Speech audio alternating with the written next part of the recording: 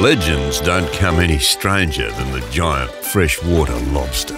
A beast the size of a corgi hiding out in remote Tassie rainforest. Oh, for Pete's sake! I can't open mine either! Accounts tell of bushmen befriending these oversized invertebrates and having them crack open frosty ales with their powerful pincers.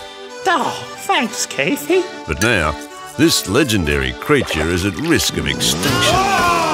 It's time to pay back an historic favour.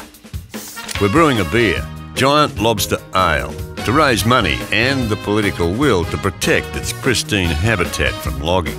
We'll send the first ice cold brew to Environment Minister Josh Frydenberg as a tasty reminder to sign the Giant Lobster Recovery Plan. That means you can help save a species just by cracking a cold one. Can you chip in to make it happen? Help us brew a beer and save a legend.